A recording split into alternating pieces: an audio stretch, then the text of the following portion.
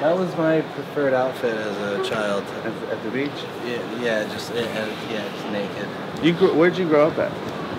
Um, Laguna Beach area. Yeah, like Dana Point is a city next to it, Yeah. so that's where I went to high school.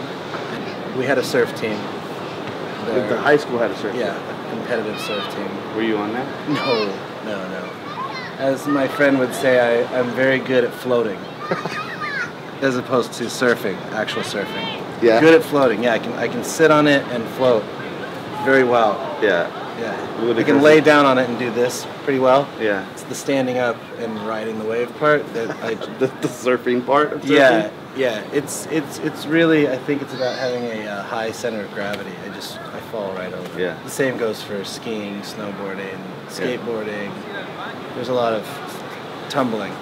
Do you think that's what? Do you think? Do you think your was it your lack of uh, of uh, balance that threw you into music, or you just did mu- with music? You Yeah. always